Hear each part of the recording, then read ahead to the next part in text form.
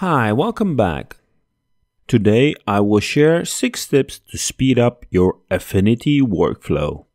Let's quickly start with the first tip, using keyboard shortcuts. Use keyboard shortcuts for repeating tasks, for example for duplicating layers, resetting zoom, and not to forget for switching between tools. Especially if you're starting with Affinity Photo it might be tempting to use the context menus and the mouse, but try to force yourself to use the keyboard shortcuts. It will definitely speed up your workflow. Remember that you can always modify or create your own keyboard shortcuts. As a bonus, Affinity even allows you to save and load your shortcuts, which is very useful for backup purposes. I will share in another video the keyboard shortcuts any Affinity Photo user should know and use. Here is tip number 2. Using macros for day-to-day -day tasks. If your workflow involves a lot of repeating actions, using macros is definitely a must. The macros in Affinity do have some restrictions, but they are good enough to do daily simple tasks.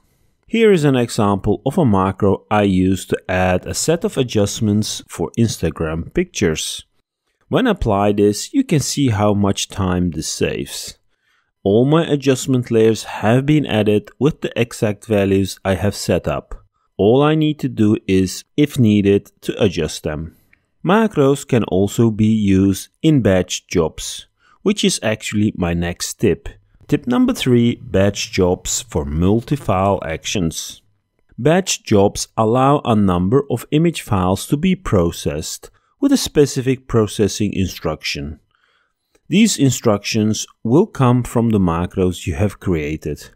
A job example would be to resize all documents in a folder to a specific size or file format. You can also add macros to the job which will be applied to each file processed. This way, you can easily apply a color adjustment to a set of files, much quicker than opening them one by one. Tip number 4 Non-destructive editing. Try to do everything in a non-destructive way as much as possible.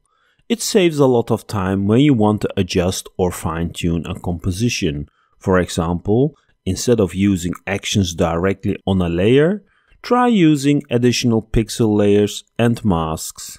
Another good example is trying to use live filters as much as possible. I know some filters are not available as live filters. In that case, try using a merge visible and work on that copy, so you can easily undo or remove the effect. Tip number 5 Using snapshots.